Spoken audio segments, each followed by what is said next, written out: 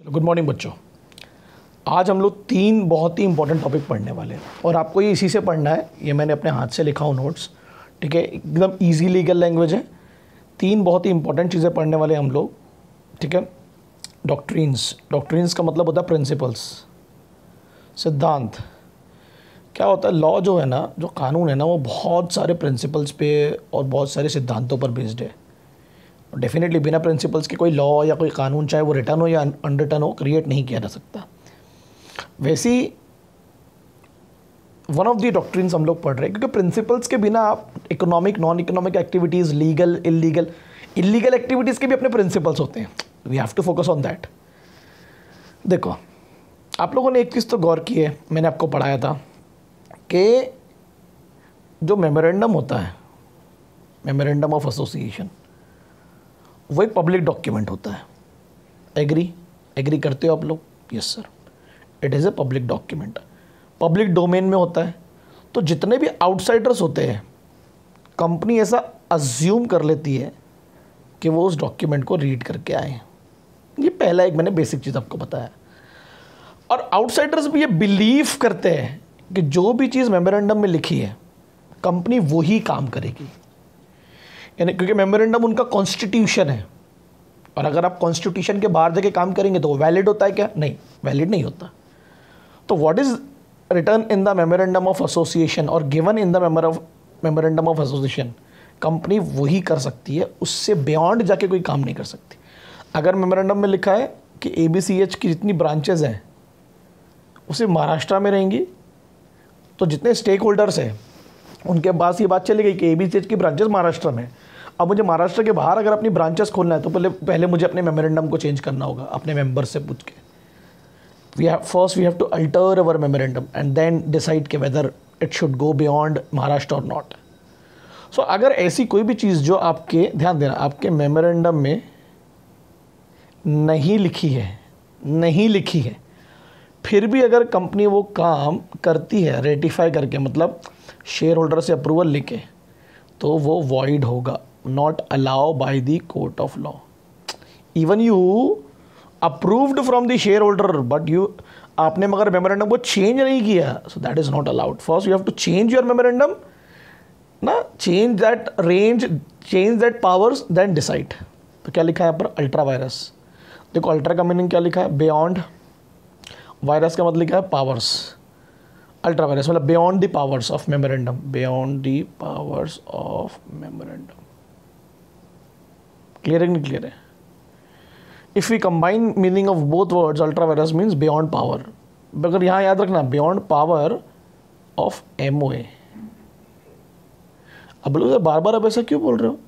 Because अगर वहाँ ऐसा लिखा रहता beyond the power of B O D that's fine B O D के पावर्स को तो हम लोग डेफिनेटली लिमिट करके रख सकते हैं या डायरेक्टर्स के पावर को। तो beyond the power of B O D does not means beyond the power of memorandum logic समझा? बिकॉज़ वी कैन इंक्रीज और decrease the powers of B O D the powers of taking money giving money logic समझा? But the beyond the powers of memorandum leads to beyond the powers of B O D logic समझा? है ना? That no company can beyond the powers as specified in the memorandum of association. कोई भी company अपने memorandum में जो चीज़ नहीं लिखी है उसके बियॉन्ड जाके काम नहीं कर सकती है। So it is the duty of the company to complied that limits and powers to abide बाध्य रहे। जो मेमोरेंडम में लिखा है, आपको वही करना है। देखो, मैं एक रेंज बना देता हूँ आपको। Companies act M O A O A और बी ओ डी ये रेंज है।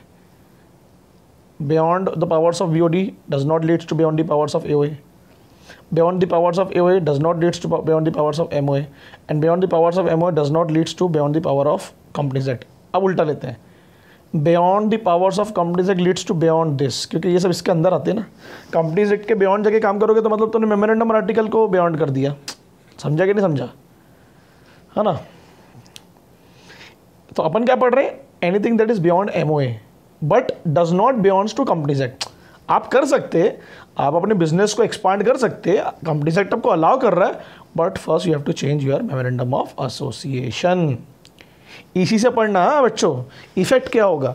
अगर हम लोग अपने पावर्स को बियॉन्ड जाके यूज़ करते हैं जो मेमोरेंडम में नहीं लिखा है, जो नहीं कहा गया करने के लिए, पहली बात तो वो जो एक्ट है, वो वॉइड अब इनिशियो है मतलब शुरू से ही अलाउ नहीं है कोर्ट के द्वारा, क्योंकि first you have to change your memorandum of association ultra vires है अल्ट्रा वायरस है। उसमें लिखा ना no company can make an ultra vires act valid even every member given consent to it अगर हर मेंबर आपको अलाउ भी करता है जनरल मीटिंग में, है ना रेजोल्यूशन पास करके, तब भी वो वैलिड नहीं होगा। Because first you have to alter your memorandum of association क्या लिखा है मैंने? देखो नोट में general rule is that an act which is ultra vires जो एक्ट अल्ट्रा वायरस था, जो आप कर ही नहीं सकते थे, वो इनकेपेबल ऑफ़ फर्दर कन्फर्मेशन है। मतलब आप उसको रेटिफाई अप्रूवल नहीं दे सकते। तो first you have to change your M O A then ratify then confirm that act ठीक है? तो अल्टीमेटली आप किसको प्रोटेक्ट कर रहे हैं? कंपनी के जितने भी स्टेक होल्डर्स हैं, क्योंकि आप ऐसा कोई काम कर रहे हो जो मेमोरेंडम में नहीं लिखा है। अब पैसे डूब गए तो कंपनी तो बोलेगी, तुमको देखना चाहिए ना मेमोरेंडम में नहीं लिखा, तुमने पैसे क्यों लगाया तो तुम पे लाइबिलिटी शिफ्ट कर सकती है। क्योंकि memorandum is a public document इसलिए तुमको प्रोटेक्ट करने के लिए स्पेशल नोट क्या है? इफ़ द एक्ट इज़ ये देखो, आ गया। If the act is ultra vires beyond the powers of directors so the share holder can ratify it अभी अभी लिखा था डायरेक्टर्स को पावर है टू रेज देखो मैंने एग्ज़ाम्पल दिया B O D is allowed to take give loans up to one crore board of directors को अलाउ किया गया कि एक करोड़ तक तो का आप लोन दे और ले सकते हैं। बट जो ए है, उन्होंने दस करोड़ तक की लिमिट रखी है। मतलब दस करोड़ तक आप पैसे ले सकते हैं बट बी एक बार में एक करोड़ का ले सकते हैं। क्लियर तो अब नौ करोड़ तक की और लिमिट है, जिसमें हम बी को अलाउ कर सकते हैं। हाँ बोलो। तो share holder can increase the powers of directors to take one one crore give और take loans more than one crore. मतलब एक करोड़ से ज़्यादा का भी आप लेन देन आप कर सकते हो। But up to ten crore. क्योंकि टेन करोड़ से ज़्यादा हो जाएगा तो बियॉन्ड ए हो जाएगा। तो it it is ultra vires to A then company alter its A in a proper way बराबर है ना? अब ये जो BOD के पावर्स को हम इंक्रीज कर रहे हैं, ये MOA का अल्ट्रा वायरस है कि ए का? सर ए का, क्योंकि इसमें लिखे रहते हैं ना रूल्स एंड रेगुलेशंस तो first you have to change your ultra article of association इसमें MOA का कोई लेना देना नहीं है, जो मैंने हेरार्ची बनाया था ना अभी आपको, क्योंकि MOA का तो छू भी नहीं रहा इन लोग. So anything beyond B O D does not leads to beyond MOA ठीक है? तो क्या लिखा उसमें? पहले आप क्या करो? अपने एओए को चेंज कर लो और उसके बाद में फिर आप उसको अलाउ कर देना बी को। क्लियर हुआ बच्चों? समझे? शेयर होल्डर अप्रूव भी कर रहा है, तब भी अलाउ नहीं है। तो एक फ़ेमस केस लॉ है referred in case law Ashbury railway carriage और and iron company limited versus Riche ध्यान से पढ़ना और ऐसे ही लिखना जैसे मैंने लिखा हो। पहले फैक्ट्स पढ़ लेते हैं फैक्ट्स क्या लिखा है? Ashbury railway carriage and iron company limited was registered with the following objects उनका देखो हर कंपनी का अपना ऑब्जेक्ट क्लॉज होता है, अपन ने पढ़े ना? मेमोरेंडम में लिखा रहता है, जिसको स्टेक होल्डर्स पढ़ते हैं और कंपनी में पैसा लगाते हैं। देखो उनका मेन काम क्या है। पहला काम क्या बोलता है मेरे बच्चों? टू मेक एंड सेल और लैंड लैंड मतलब किराए पे देना और हायर हायर करना चीज़ों को रेलवे प्लांट्स है ना? जहाँ रेलवे से रिलेटेड सामग्रियाँ बनाई जाती हैं, उन प्लांट्स को लैंड करना सेल करना हायर करना। और carry on the business of mechanical engineers and general contractors और कौन सा बिज़नेस है? कौन कौन सी चीज़ों को इन लोग हायर करते हैं या सर्विसेज़ प्रोवाइड करते हैं? Mechanical engineers and general contractors ध्यान देना, ये इनका मेन फोकस है। अब देखो, बहुत ही इंपॉर्टेंट चीज़ें भूलने का नहीं है, बिल्कुल भी। The company entered in to contract with Riche एक रेलवे कॉन्ट्रैक्टर है वो। For financing the construction of railway line in Belgium क्योंकि ये तो पैसा लगा। ठीक है?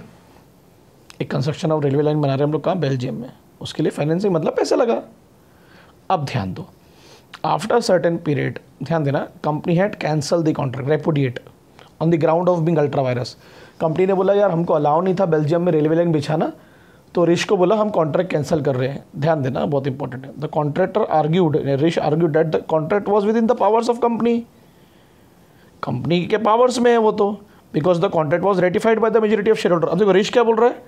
कि जब मैंने तुम्हारे कॉन्ट्रैक्ट में देखा कि तुमने लिखा था कि जो बेल्जियम बनाने की जो अनुमति है, वो तुमको शेयर होल्डर ने दिया है रेटिफाई करके। अब अपन ने पीछे क्या पड़े भले शेयर होल्डर हाँ बोल दे, पूरे भी क्यों ना हाँ बोल दे, मगर अगर मेमोरेंडम में वो चीज़ नहीं लिखी है तो वो क्या बोलाएगी? अल्ट्रा वायरस तो ऋषि की बात मानी जाएगी क्या? देखो जजमेंट क्या आया? It was held at by the court contract was ultra vires therefore it is null and void कोई वैल्यू नहीं है ऐसे कॉन्ट्रैक्ट की. Even the share holder can not ratify the contract as it was ultra vires the object clause of company सही है? तो पहले M को चेंज करो देन अप्रूवल लो, किसका then take approval of contract with Riche या ऋष आप जो बोलना चाहें। लॉजिक समझा? क्योंकि आपका काम जो था, आपने अपनी लिमिटेशन से ज़्यादा का किया बेल्जियम में अलाउ नहीं था आपको रेलवे कॉन्ट्रैक्ट के, से रिलेटेड कोई भी काम करना तो आप अपने पहले कॉन्ट्रैक्ट को चेंज कर लो ना। समझा लॉजिक क्या है? पक्का? ओके ऐसा नहीं कि नहीं कर सकते, मगर ऋषि की बात या मानी गई क्या? नहीं नहीं मानी गई। ठीक है बच्चों, अब मुझे एक बात बताओ आप लोग, जो मेमो है वो public public document agree sir बिल्कुल एग्री पब्लिक डोमेन में पड़ा रहता है हमेशा यस सर तो कंपनी ऐसा अज्यूम करती है कि जितने भी स्टेक होल्डर्स होंगे, वो उसको रीड करके आए होंगे, पढ़ के आए होंगे एग्री करो। तो कंपनी ऐसा मान लेती है कि लोगों को ऑलरेडी वो डॉक्यूमेंट कम्युनिकेट हो चुका है हमारी वेबसाइट से। या कोई न्यूज़पेपर में हम पब्लिश करते हैं इंग्लिश लीडिंग न्यूज़पेपर या रीजनल जहाँ कंपनी का हेड ऑफ़िस होता है। कंपनी ऐसा सोचती है ना कि हम ऑलरेडी कम्युनिकेट कर चुके हैं। Constructively we have communicate constructively we have communicate बराबर है कि नहीं बराबर है? तो कंपनी एम्प्लाइडली ऐसा ज्यूम कर लेती है कि हमारा नोटिस तो जा चुका है है ना? हमारी जो कम्युनिकेशन है तो जा चुकी है। यार, एक बात आप जब किसी कॉलेज में एडमिशन लेते हो या ट्यूशन में एडमिशन लेते हो या किसी कंपनी में जाते हो तो वो तो अज्यूम करेंगे ना कि आप उनकी भी डिटेल्स पढ़ के आए हो, उनका प्रोस्पेक्टस उनका डॉक्यूमेंट वो थोड़ी ना आपको अपनी हर बात बताते रहेंगे। लॉजिक समझ रहे हो? और हम पता भी करते हैं definitely so when the M O and O A registered किए जाते हैं, किसके पास? आरओसी के पास। करते कि नहीं करते? रजिस्ट्रेशन के टाइम पर। इट बिकम्स पब्लिक डॉक्यूमेंट तो जिसको लगता है वो नॉमिनल इंस्पेक्शन फ़ीस देकर किसको आरओसी को, उन डॉक्यूमेंट्स को रीड कर सकता है, पढ़ सकता है। अगर कंपनी से जुड़ना चाहता है तो। बिज़नेस आवर्स में आप पढ़ सकते हो। है ना? कि भाई मुझे पढ़ना है किसी कंपनी का डॉक्यूमेंट और वो आपको अलाउ करेंगे। So every person who intent to enter in to contract with the company has all the resources to ascertaining, to find out and company presume to know not only the exact powers of the company, कि company के क्या powers है, जो memorandum में लिखे और किस इन पावर को कंपनी किस हद तक डेलीगेट कर सकती है? मतलब ट्रांसफ़र कर सकती है टू द डायरेक्टर्स और कंपनी की क्या लिमिटेशंस है? ये ऑलरेडी कंपनीज़ के मेमोरेंडम्स में और आर्टिकल्स में लिखा हुआ है और कंपनी ऐसा अज्यूम करती है कि आप इसको रीड आउट करके क्योंकि पब्लिक डॉक्यूमेंट ध्यान देना। So in other words every person dealing with the company is deemed हमेशा मान लेते हैं, हमेशा मान लेते हैं to have a constructive information और communication of the details of M O and U ऐसा अज्यूम कर लेते हैं हम लोग। ठीक है?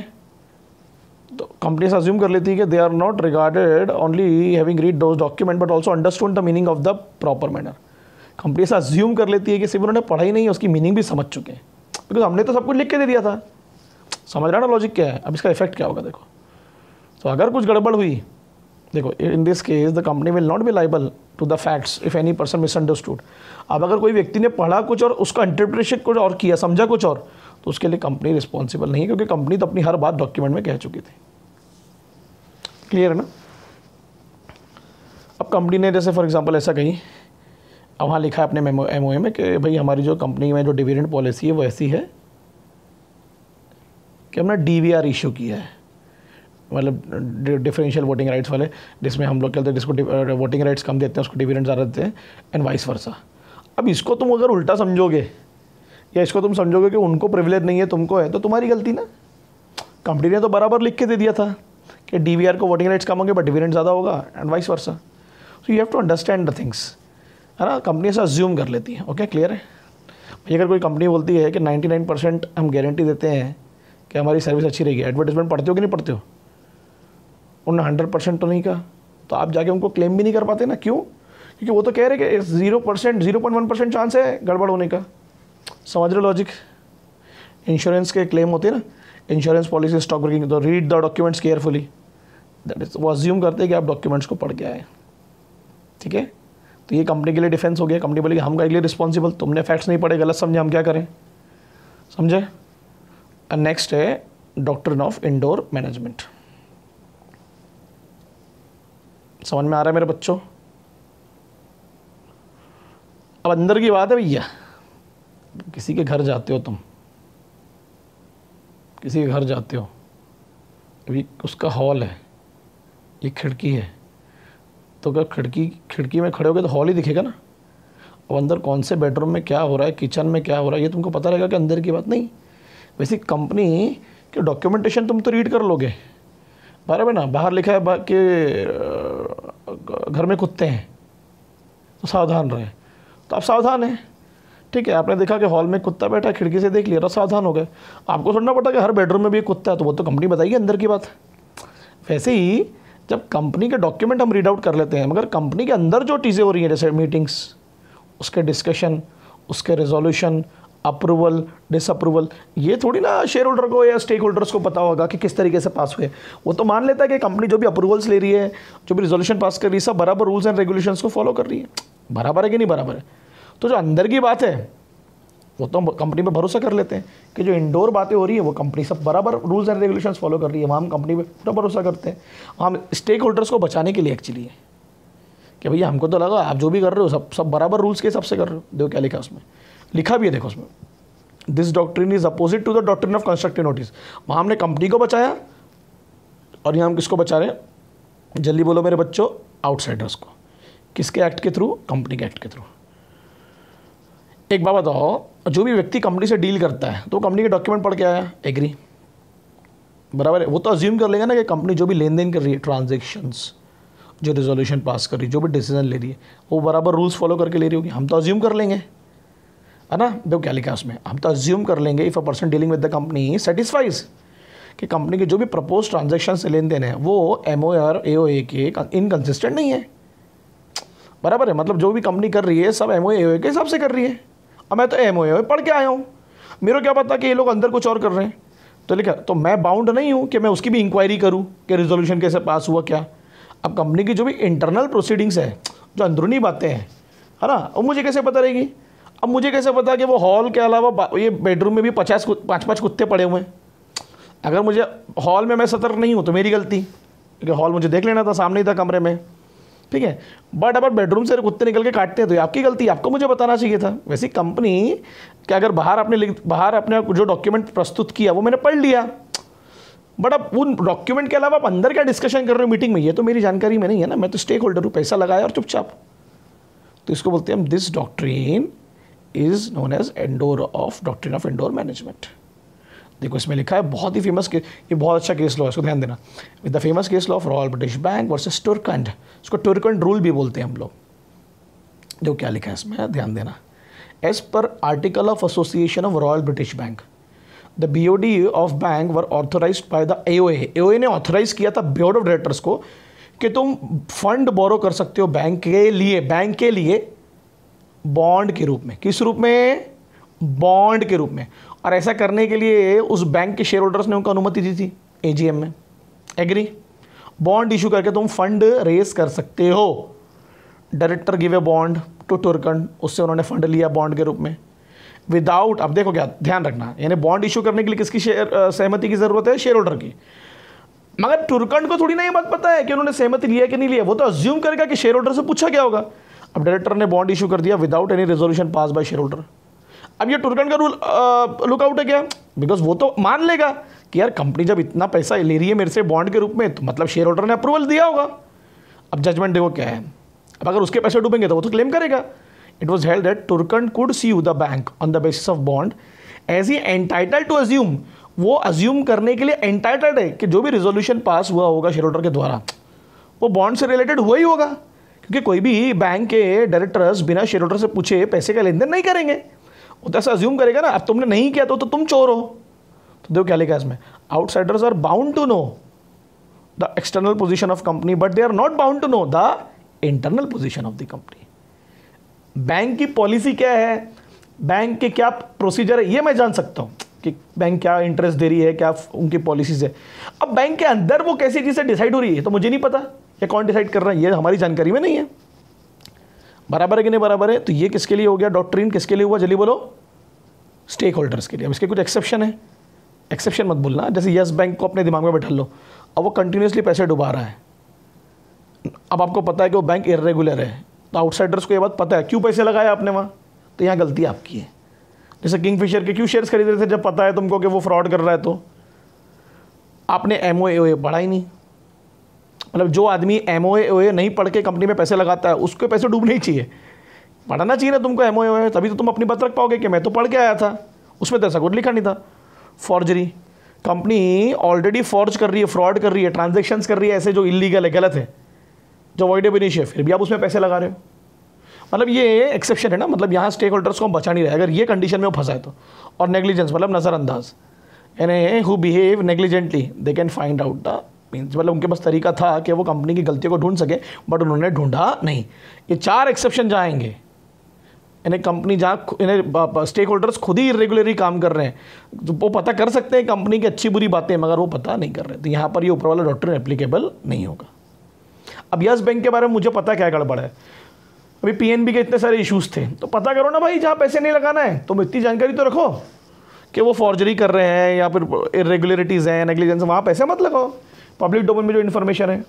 तो क्वेश्चन में अगर ऐसा कोई भी चीज़ आई कि कोई भी कंपनी ये कर रही है तो फिर वो डॉक्ट्रिन ऊपर का एप्लीकेबल नहीं होगा। वहाँ पर्सनली आप रिस्पॉन्सिबल होंगे। क्लियर है? और जहाँ ये पैराग्राफ आया ऐसे रिलेटेड तो फिर तुमने छाप देना doctrine of indoor management clear है बच्चों? ये तीन बहुत ही इंपॉर्टेंट टॉपिक जो एग्ज़ाम में बिल्कुल आ सकते हैं, ये मैंने पढ़ा दिया आप लोगों को। ठीक है? ये हैरार्ची मत भूलना। Anything beyond companies act will beyond M O A will beyond A O A will beyond board of directors but anything beyond board of board of directors does not beyond M O and companies act clear finish चलो। ये important चीज़ हम लोगों ने खत्म कर लिए case laws मत भूलना जो पढ़ा और इसी से पढ़ना। इसकी मैं पीडीएफ आपको भेज दे रहा हूँ। काय में? आपके ग्रुप में। है ना? मॉड्यूल से पढ़ने की इसको ज़रूरत नहीं है। बिल्कुल सिंपल लैंग्वेज में मैंने लिख के दे दिया आप लोगों को।